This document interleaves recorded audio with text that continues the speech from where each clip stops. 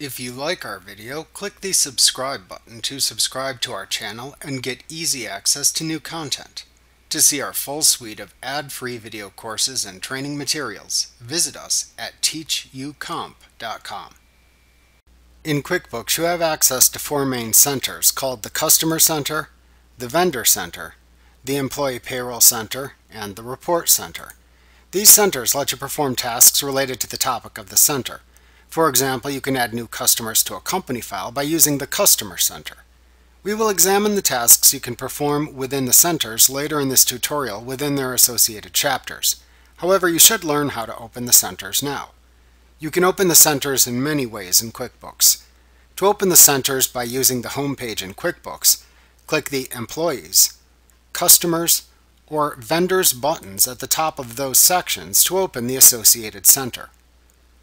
To open a center by using the icon bar, click the associated button like Customers within the icon bar.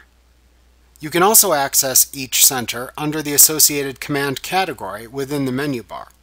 So, for example, you can also access the Customer Center by selecting Customers, Customer Center from the menu bar. Each center appears in its own window, which you can close by clicking the X button in the upper right corner of the window when you are finished using it. Remember to click the subscribe button to see more of our videos. Get ad-free courses at teachucomp.com.